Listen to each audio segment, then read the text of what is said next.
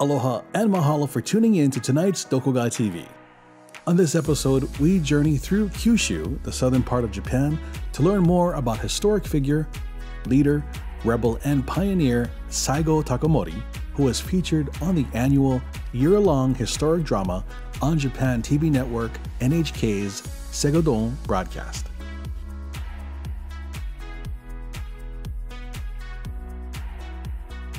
Saigo Takamori was one of the leading figures during the transition of Japan's Edo era, known for its feudal system and samurai, to the embracing of modernization, known as the Meiji period in Japan's history. Saigo Takamori is also referred to as the last true samurai. Tonight's episode kicks off our new video diary series, highlighting the various cities and locations in the Kyushu area that played a key role in Saigo Takamori's travels and experiences, as well as other iconic and historical figures that were inspired and influenced by his vision and life. This nonstop travel 808 group's journey started with a stop and stay for one night in Fukuoka, Kyushu's largest city. Speaking of which, you too can now visit the home of great ramen, street side dining, and delights before setting out on your Kyushu adventure. Hawaiian Airlines now has a direct flight to and from Honolulu to Fukuoka, and coming up later this season, my very special guest co hosts, Melissa Chang and Olena Heu, will share highlights from their Hawaiian Airlines Fukuoka inaugural flight celebration.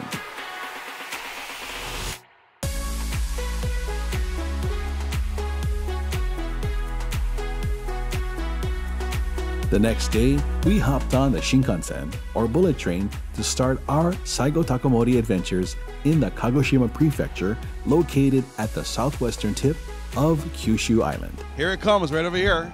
Look at that, the space shuttle. Nozomi N700 train. And we're going to be in one of these cars, but I, I have a friend of mine here I want to talk to. I've had the honor of traveling with you, uh, and we went to Niigata. And Ellen, welcome back. Thank you so much. This is going to be my first time on this bullet train, so I'm excited. This is your first bullet train ride? Right, right, right, right, right. So, Oh. wow, this thing goes really fast. So Yeah, um, streamlined looking too. The other good thing about Bullet Train is they have carts that come by that you can buy food and snacks and actually alcohol. About that? Oh, alcohol too. I've known Jean and her husband Maurice for many years now. Shout out to Aaron Yamasato, dear friend of mine, fellow filmmaker uh, on the island of Kauai, and of course Natsumi, Leah, Sophie. So I was so happy to find out that you're on this tour. Now, I understand you guys love the Taiga drama, Segodon drama, yeah? Yes, we yeah. Maurice would always be home Tuesday nights by eight o'clock, no matter what he had. Now, Maurice is a very, very busy architect and just a connoisseur of all things excellent. So he makes it home on time to watch the drama. That's right. And then we learned we couldn't figure out what segodon meant. Right. So when we had Japan people explain to us that Saigo Takamori is the way you know what segodon is. Yeah. Then we understood because we heard that name and we had seen statues before. Ah, I see, I see, I see.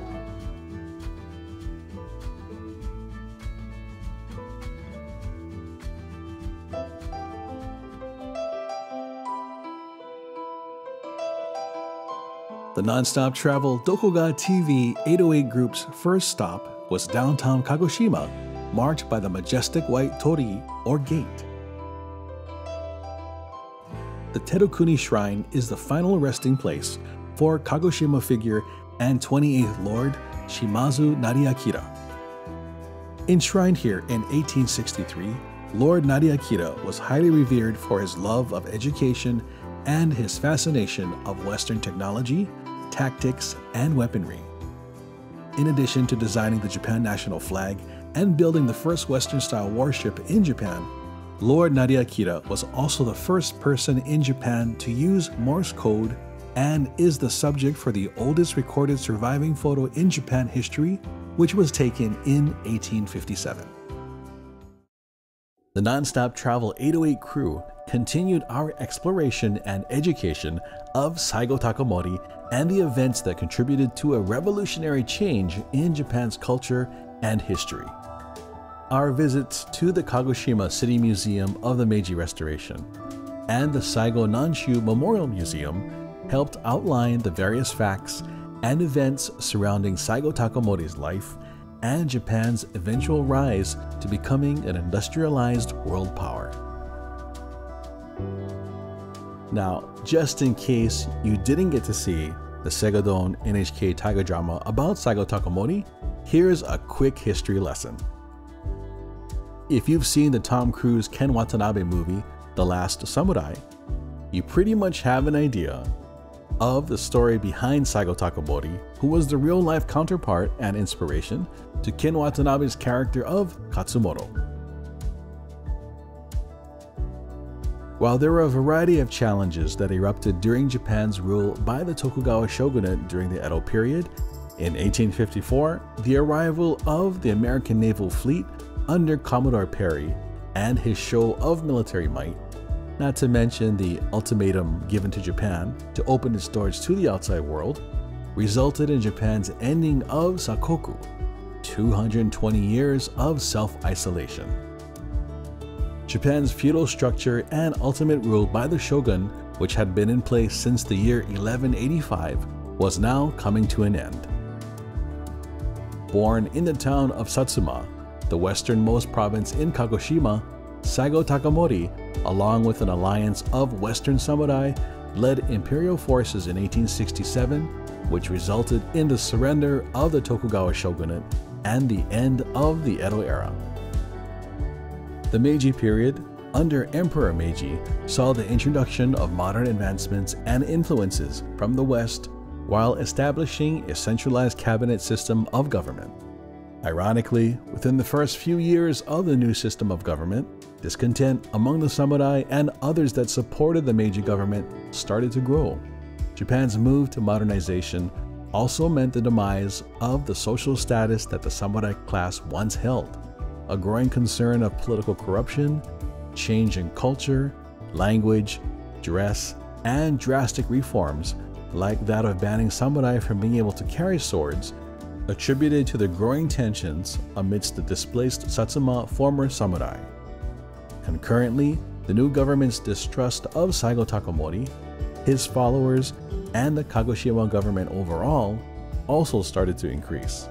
Revolts against the newly formed government were rampant. Fear of an attack by the highly revered Satsuma samurai, led by iconic Saigo Takamori, resulted in the Meiji government's assassination attempt of Saigo. While Saigo Takamori felt a sense of loyalty to the Meiji emperor and did not want to rebel, he needed to address the apparent betrayal of the imperial government. On February 7, 1877, Saigo Takamori, along with 12,000 fellow Satsuma men, headed to Tokyo. War would become inevitable, and this march and engagements with the imperial troops became known as the Satsuma Rebellion. These Satsuma warriors faced a seemingly endless array of imperial soldiers armed with Western weaponry. On September 1877, at the Battle of Shiroyama, Saigo and his remaining 300 men launched a final suicidal charge. This would be the site of their defeat and where Saigo was mortally wounded. Saigo committed ritualistic suicide and was decapitated by one of his closest allies in order to preserve his honor. When the Satsuma Rebellion was over, many felt this marked the final days of the samurai. However, Saigo's legend during life continued to grow and spread after his death. Saigo Takamori helped usher in the modern era of Japan and was one of the three most powerful officials in the Meiji government. Yet, he never abandoned his love and dedication to samurai tradition. Saigo Takamori's strength, integrity, and convictions left a lasting impression on the people and government that he himself opposed. The Meiji Emperor pardoned Saigo and later built a statue that sits in Tokyo's Ueno Park to this day in honor of the last samurai Saigo Takamori.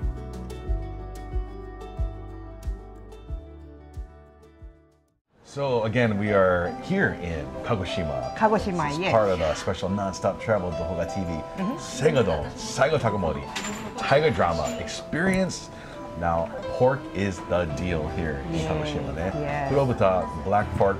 So of course we have to have pork for lunch. This is the tonkatsu. Of mm-hmm. course, again, joining us as always, helping us here on our tour is Yuki. Hello. Yuki-chan. はい、アロ Aloha. ハ。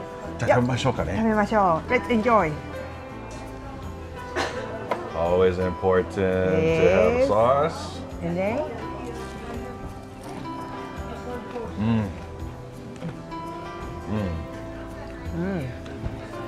Hearty, juicy, moist, yeah, very good. very tasty. Oh, I wish you guys were Yeah. here. Kagoshima, adventure continues.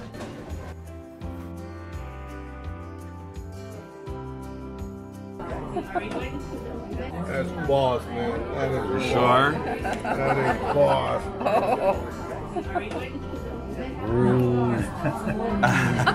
Now I'm sold.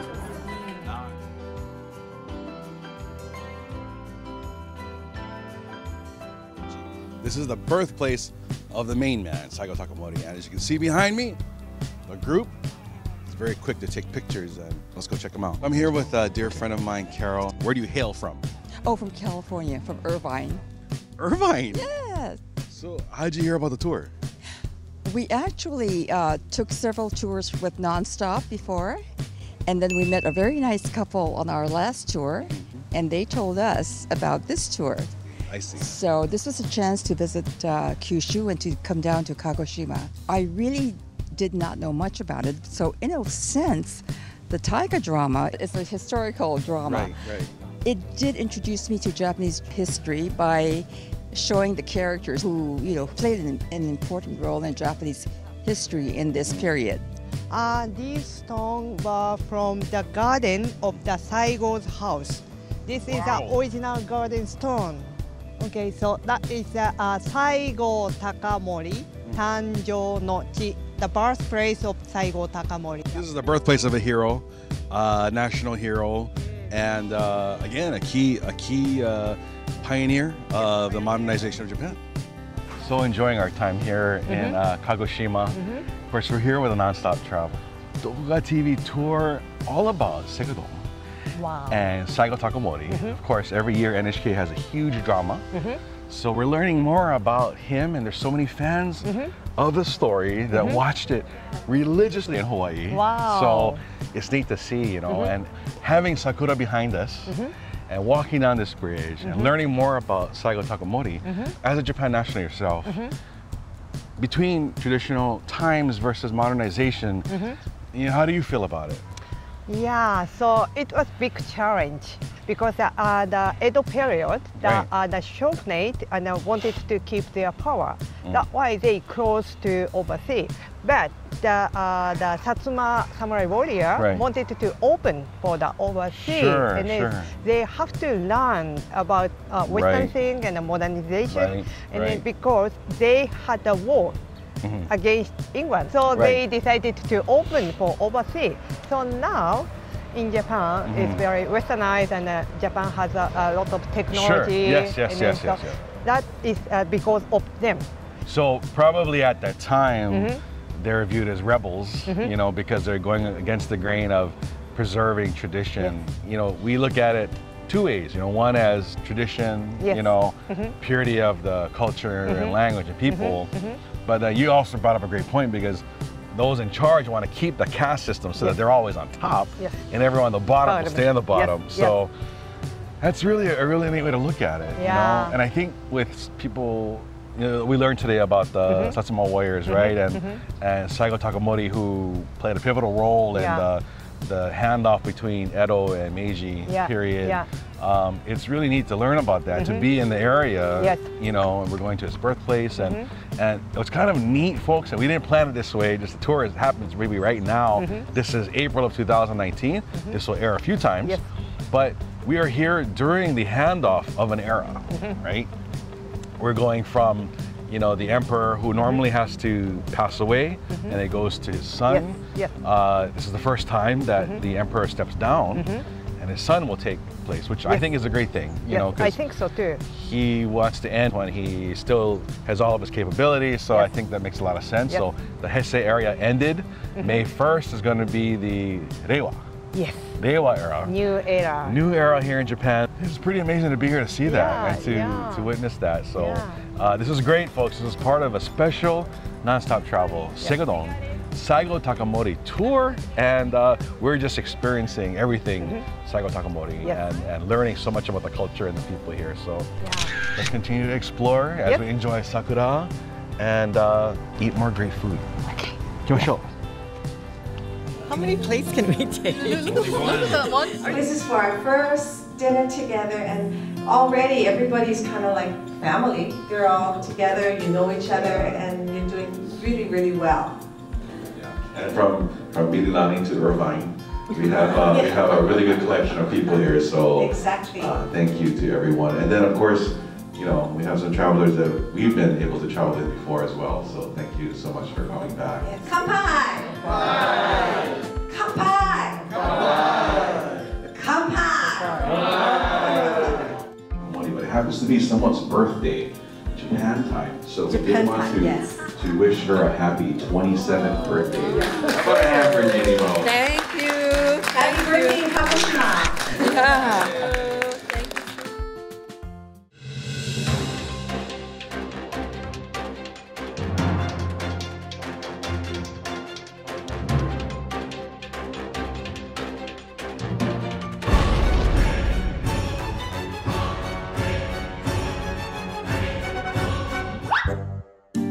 Shoyu soft cream. Have you ever had that before? You? No. I thought she said soy.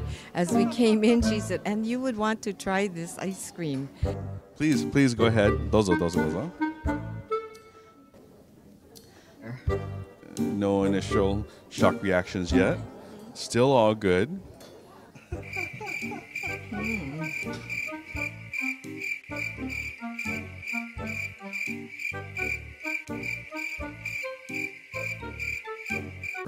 It doesn't remind me of shoyu, and yet I guess there is shoyu. I, I don't know. I, I see some uncertainty in your face if you're enjoying it or not. Yeah, I'm enjoying it, but um, I don't have a discriminating, you know, taste bud like some people do. Like like Polly does. Yeah, yeah, yeah. So we're in line here uh, at the Sudomaru Cafe. We have some Hawaii folks that are going to be trying Irvine Ohana as well. that I'll be trying the uh, shoyu soft cream, which would be very very interesting. So I'm gonna have you have you picked your flavor yet? Half milk, half shoyu, or pure shoyu. And the mixed one's a little bit sweeter, smoother. The, the shoyu one, if you like a little more tart flavor, that's the one for you. No, I don't. Okay. You want the better one, the most popular? Well, you can taste some shoyu, right? Because that's the uniqueness of it, and that's what we want to. It's very creamy. It's creamier than I thought. So the secret is there's a shoyu flavor uh, and there's this mixed flavor. The mixed flavor has a little bit of caramel, salty sweetness to it, where the shoyu is more like more of the tartness of shoyu itself. Yes. This is a mixed flavor. That's the mixed flavor. Yeah. Tastes like ice cream. Tastes like ice cream. Okay, I think that's a positive, positive reaction. I believe. Mmm, Mmm is good. mmm, oishi. Oishi. Like, yeah, caramel. Mmm, mmm, mmm. You're gonna add more shoyu to that? They have actually added shoyu, more shoyu to the mix. Oh wow, shoyu. It tastes different. It doesn't taste like ice cream. Now it is transformed. Mmm, shoyu. Continued adventures here in Kagoshima. Stay tuned. Mahalo. Thank you. Mahalo for tuning in to tonight's episode of Doko Ga TV. Tune in next week for our continued coverage of our nonstop travel Doko Ga Video Diary series. We continue our trek around Kyushu, the southern part of Japan, following in the footsteps and travels of iconic and heroic samurai, the Saigo Takamori. Coming up later this season, Doko Ga TV Japan Mania becomes Adventure Mania as we'll be taking you across Japan, Korea, Seattle, Alaska, and then some. Mahalo as always for tuning in, and on behalf of Team Doko Ga TV, we'd like to wish you and your families all the best. And we cannot wait to join you on a non-stop travel adventure very soon. Take care and aloha. Aloha.